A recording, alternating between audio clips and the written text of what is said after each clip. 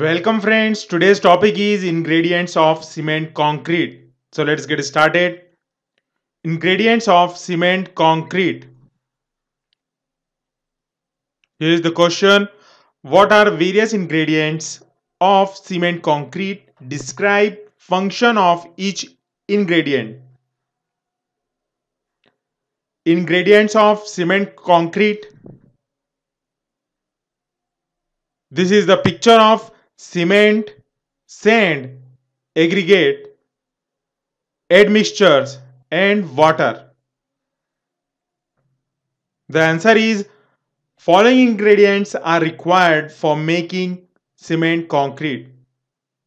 A point cement, B is aggregate, C is water and D point is admixture. So let's elaborate one by one. A cement.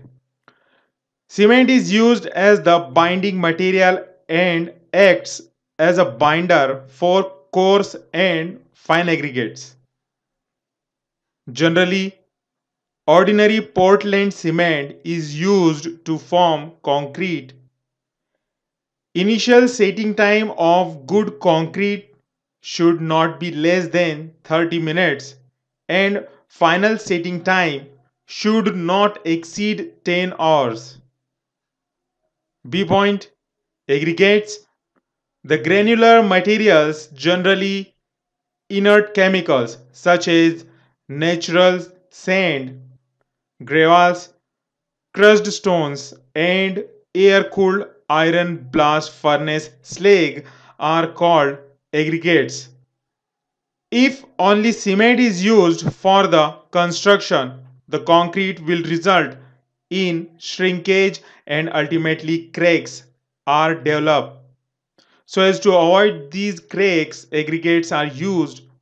These aggregates are bound together by means of cement.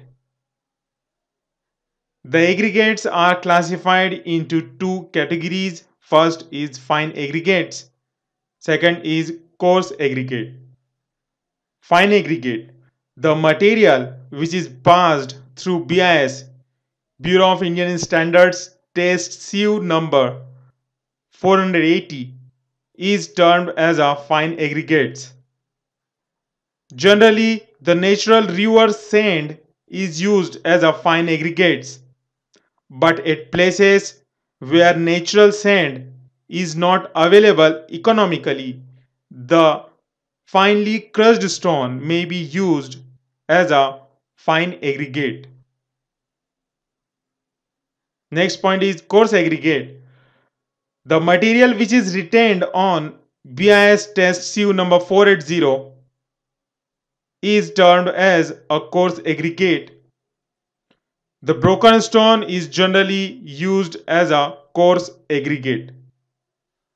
The nature of work decides the maximum size of the coarse aggregate. In this picture, we can see 5 to 10 mm size of coarse aggregate, 10 to 14 mm, 14 to 20 mm, and about 20 mm. For thin slabs and walls, the maximum size of coarse aggregate should be limited to one third the thickness of the concrete section. The aggregates to be used for cement concrete work should be hard, durable and clean. The aggregates should be completely free from lumps of clay, organic and vegetable matter, fine dust, etc.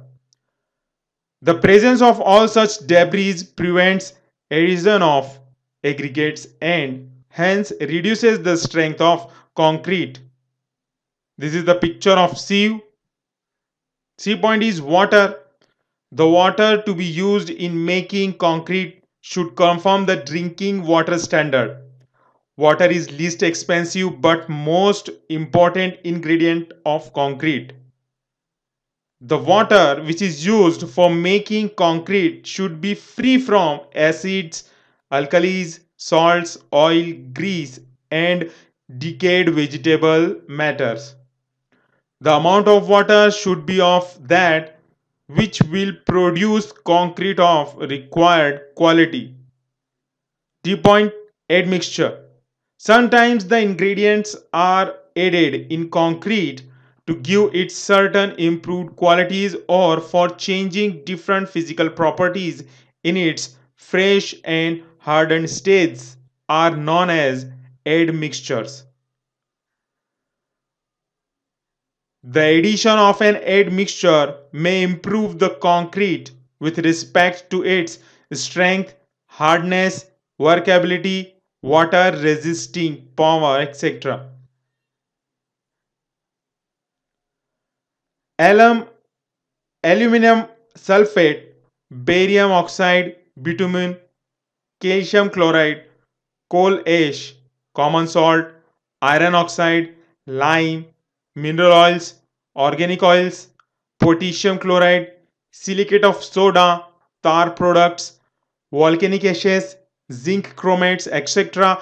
are the commonly used admixtures. As an example, when calcium chloride CaCl2 is added as admixture, it absorbs water from the concrete and water cement ratio falls down and can even be brought down up to the limit of 0.25. So dear friends, this is all about ingredients of cement concrete. You can also check the playlist related to construction materials and building materials videos in my channel. So dear friends, let's meet in another video. Thank you very much.